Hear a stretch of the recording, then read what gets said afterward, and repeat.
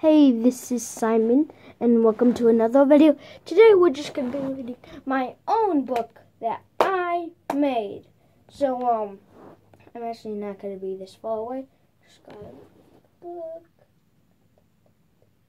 Ah, here we are. I made it myself, and I hope you like it.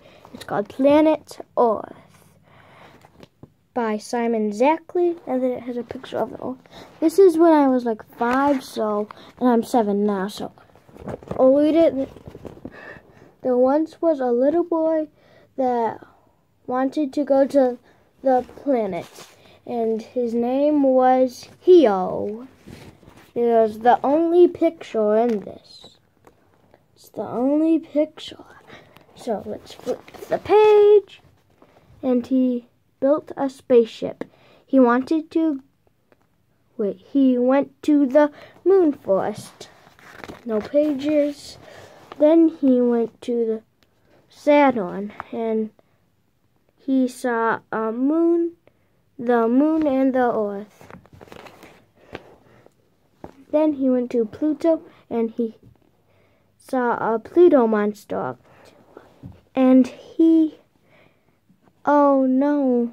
And Hio said, Oh no.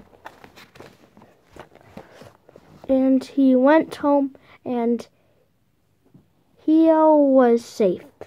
Then a moon monster came. Ten more moon monsters came. The Pluto monster came. Then a Saturn monster came.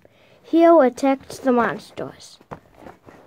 Then he got in one of the moon monster's craters and tickled him so he could bring him back to the moon. The End by Simon Zackley. I hope you liked that. And it was a pretty cool book. And um, that's going to be it for today, guys. Goodbye.